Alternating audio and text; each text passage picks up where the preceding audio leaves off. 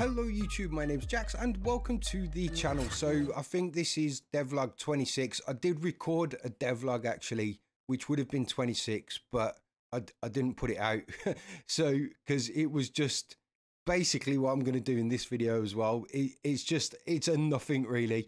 This is just another one of those times where I just need to sort of vent my frustration of, of me trying to build on this game and, and, uh, I just need I need a reference point so when I can look back at my devlog and say, okay, so I was here at this point and now I can see some progression. So I just make these devlogs just so I've got a reference point for my own progression, which is a bit selfish, I suppose, but hopefully some, there's some value to it to someone, uh, hopefully somewhere.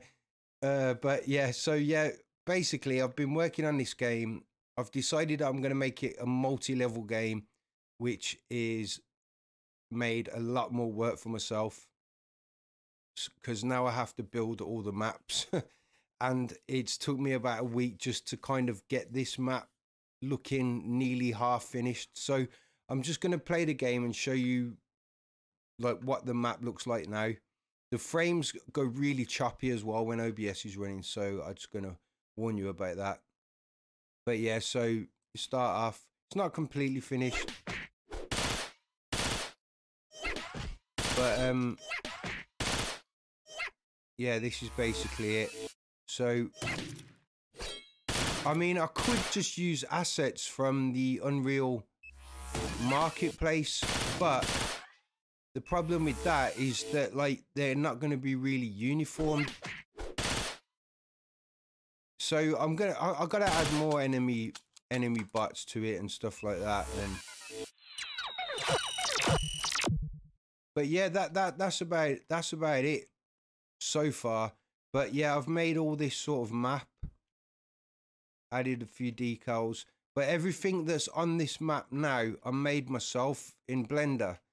And the reason why I want to do that is so I can keep to a uniform and and so everything looks the same rather than rather than them being like a door from Unreal Marketplace, then a trash bin from somewhere else, and it all just looking not uniformed basically. So yeah, that that's why I wanted to make all the assets myself. So like this first level, like this is pretty much the first level done.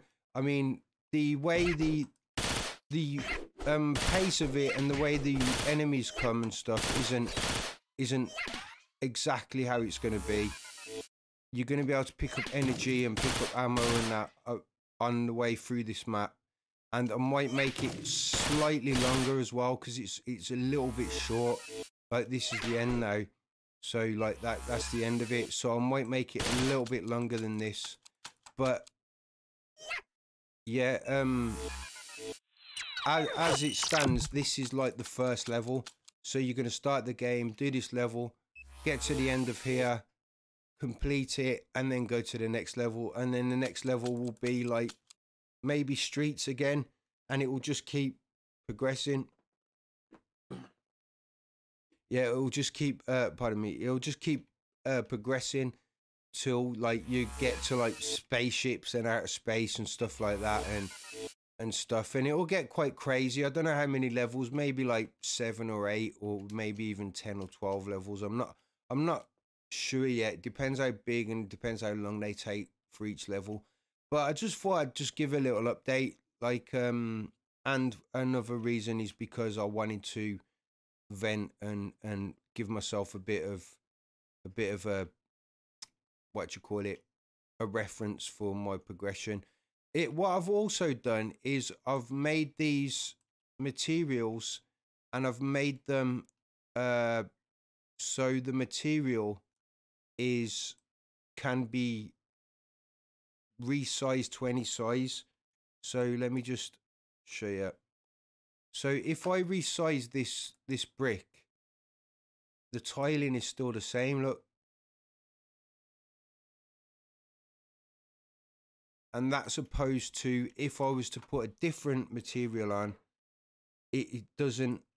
Let me see if I can show you. Um, where is that? Where have I put that stuff?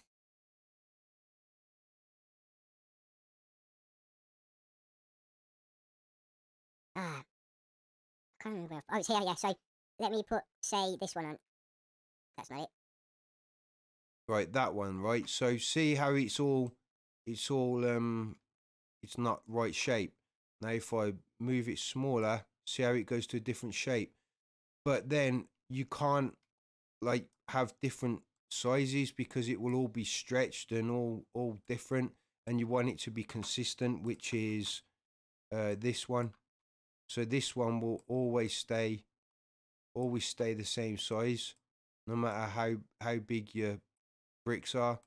So what you want to do with that is this so you need to have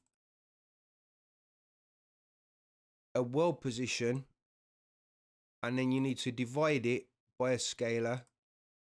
I've called that scale, but that is actually a scalar. Then you want to put a mask on and then that goes into your UVs of it can either be your full sample or your texture sample for your normals. So that's how you make um make it so it can scale like that. But you have to be careful because look, if you look, that's only because my game's 2D. So because it's like a 2D thing, they're the only UVs you're seeing from that that uh, face forward. So.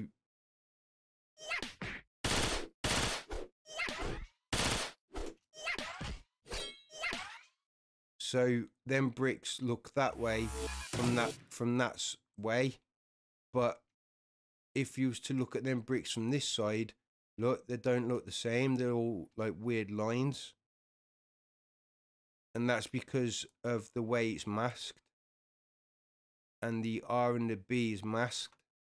If I was to change them them uh, values there in the mask, it would say it would maybe like be lines that way, lines that way, and brick that way. So yeah, that's just um just like I can put the link if if anyone wants to know more about how I've done that I can put the link into the video that I got that from. It's not something that I made up. I watched a tutorial to work that out. But yeah, um, that's that's about it really. I just thought I'd just give a little update. Um, been just working on little little assets really, little burglar alarms, lights, spotlights. Spotlights are pretty cool.